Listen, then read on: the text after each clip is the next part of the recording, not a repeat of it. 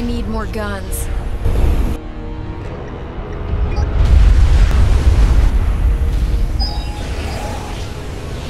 We've woken up a Colossus class, experimental, and it looks cranky.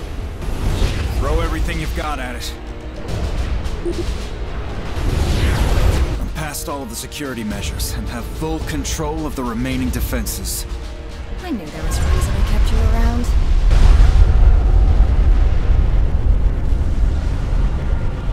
Yes! The Colossus is down! The bigger they are, the bigger their explosion. The facility is secure and the ground team is arriving right now. We're hoping to get that teleport technology and the plans for the Colossus. That's great and all, but I'm not happy about the useless intel we were given for this operation. Trust me, things will get better before they get worse. Operation completed.